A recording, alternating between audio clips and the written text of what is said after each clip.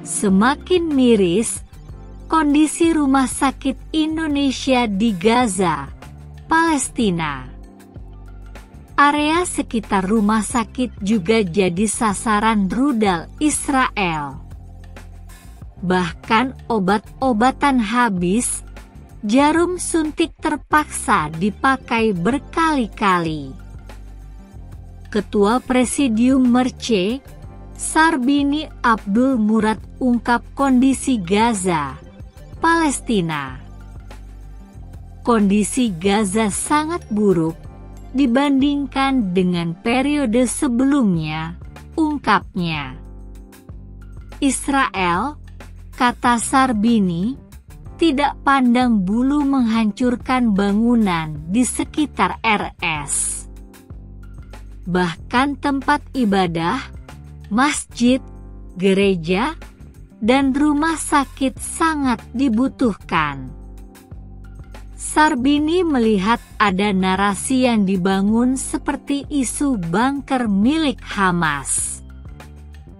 Padahal kami bangun RS Indonesia adalah semua orang kita, ujarnya didesain tidak ada terowongan, bunker, tidak pernah buat, tambahnya.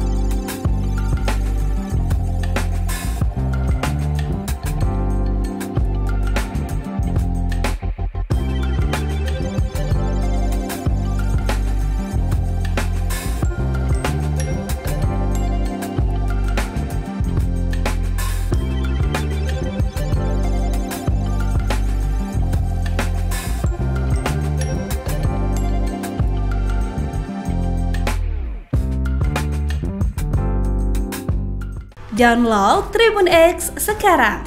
Menghadirkan lokal menjadi Indonesia.